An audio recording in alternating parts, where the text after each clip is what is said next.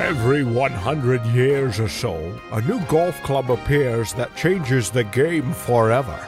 Introducing the Probe 2010 putter that won the Golf Magazine Techie Award as the most technologically advanced putter of the year. On those shorter putts, on a hard breaking putt, I never know whether to hit it firmly inside the hole or whether to try to play the break and hit it whole speed. And this putter took that guessing game out for me. Are you sure that this putter's legal? Because it's like a license to steal. You drive for show and putt for dough. A four foot straight putt. About 5% of all golfers miss this putt, usually by coming up short of the hole. A four foot putt breaking right to left 5 inches, about 70% of all golfers miss this putt.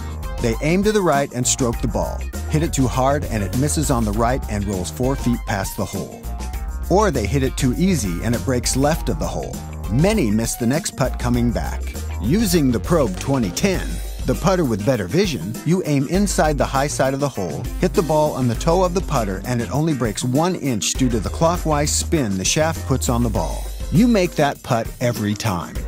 Now, a four foot putt breaking left to right 5 inches, 90% of all golfers miss this putt. They aim to the left, then stroke the ball, hit it too hard, and it misses on the left and rolls 4 feet past the hole. Or they hit it too easy and it breaks in front of the hole. Using the Probe 2010, you aim inside the high side of the hole, hit the ball on the heel of the putter, and it only breaks one inch due to the counterclockwise spin the shaft puts on the ball. Visit probegolf.com to learn why this new putter will change the world of putting forever.